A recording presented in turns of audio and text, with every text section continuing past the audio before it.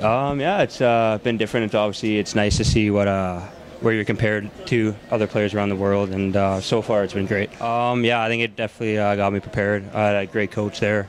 Uh, Carlson is actually here right now, and um, I think he got me prepared for the next level, and that's why I'm here today. Um, I think at the time, USHL was the better league, and I think it's it's shown right now how many players they produce to the next level, and I, that's uh, pretty much why I chose USHL.